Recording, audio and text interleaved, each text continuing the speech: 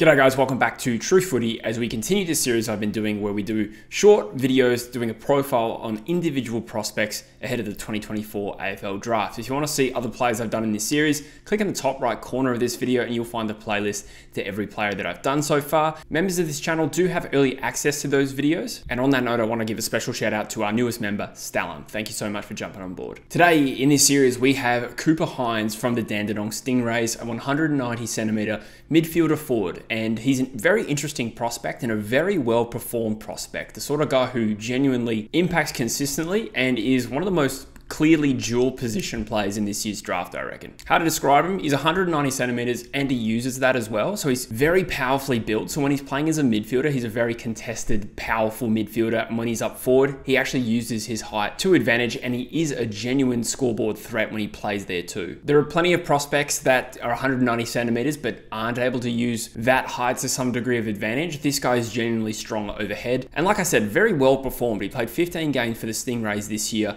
averaged 20 24 disposals, and on top of that, kicked 23 goals across those 15 games. His total stat line was 23 goals, 12 behinds, 23.7 disposals, 7.5 score involvements, nearly 5 clearances a game, and he finished runner up in the Morrish medal behind Xavier Lindsay. So, again, just an incredibly well performed player that I'm a little surprised isn't talked about more seriously as a first round prospect, but we'll get into that. In the National Carnival, he played more as a forward for Vic Country, averaged 16 disposals a game, 5.2 score involvements, and kick 4 goals across those games as well. So he's got that big, powerful frame at 190 centimeters and could potentially grow further, you'd think. And he uses that in the midfield being a very contested, focused style midfielder. He's not the best athlete per se. He's a very inside, grunt focused type of midfielder. And when he goes forward, he's a genuine one-on-one -on -one threat with his strong contested game. So he's got a lot of attributes you want in a genuine inside midfielder. Clean hands, good vision. He's generally quite slick. And he's got those physical advantages and that ability to absorb pressure and break off tackles. But he's actually quite a consistent player as well. So his best disposal tally this year was 35, and his best goal tally this year was a bag of five goals. So there's not too much doubt that he has the ability to play both roles. In terms of that consistency though, his lowest disposal count was 16 this year, and across the 15 games he played for Dandenong, he only recorded less than 20 possessions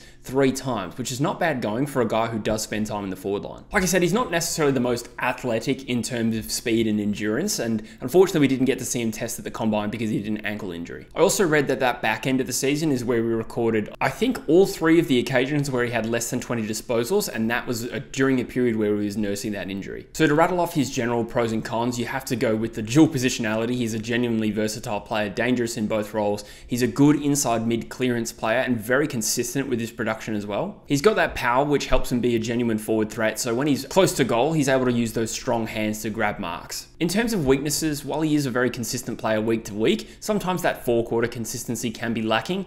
That can sometimes be due to the fact that you play in the forward line too. But on top of that, running capacity is a little bit of an issue here. So we're talking about a player who was very well performed, puts up great numbers, genuine threat in terms of scoreboard impact. Probably doesn't have that built capacity yet as a natural runner to get from contest to contest to really accumulate possessions. He does his best work on the inside. But he does have pretty good football IQ while not necessarily being the most prolific athlete. And he's got good composure, gets himself out of trouble. I suppose you could say one concern perhaps is given that he is so strong at the moment and as an 18 year old is so much bigger than a lot of the midfield counterparts he's playing against, does that advantage hold true at AFL level too? And I'd imagine it's probably going to take him a little bit of time before he's really impacting at AFL level. Sometimes these young contested midfielders do step up to the AFL and thrive instantly. Guys like Harley Reid obviously and George Wardlaw is another one that comes to mind. But sometimes they take a little bit longer, so it just remains to be seen, will he have that same size advantage at AFL level?